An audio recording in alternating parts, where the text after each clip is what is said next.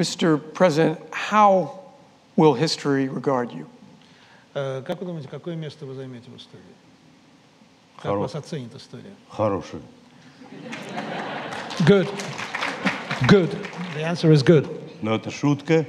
Uh, that's um, a joke. Вторая шутка. Вторая шутка. История дама капризная. My second joke is that history is a fickle lady, Но я горжусь тем, что я так жизнь but прожил.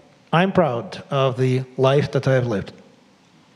А история пусть разбирается. And let history decide. Uh, Ms. Лучше,